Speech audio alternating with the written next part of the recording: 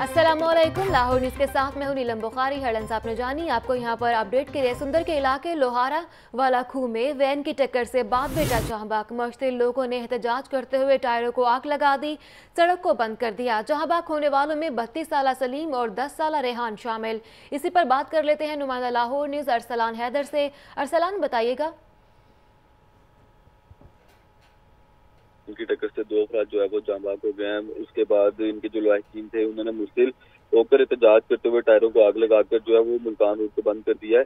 اور جہاں باغ ہونے والوں میں محمد سلیم، جس کی عمر جو ہے وہ بتیس سال، اور جبکہ ریحان، جس کی عمر جو ہے دس سال کے قریب بتائی جا رہی ہے، یہ دونوں جو ہے وہ جہاں باغ ہو چکے ہیں۔ تو ان کے جو لواحقین تھے، انہوں نے لاشوں کو سڑک پر رکھ کے احتجاجی مظاہرہ شروع کر دیا وین ڈرائیور جو تھا وہ موقع سے فرار ہو چکا ہے۔ پولیس نے موقع پر پہنچ کر جو ہے وہ مظاہرین سے جو مذاکرات کی کوشش کر رہی ہے۔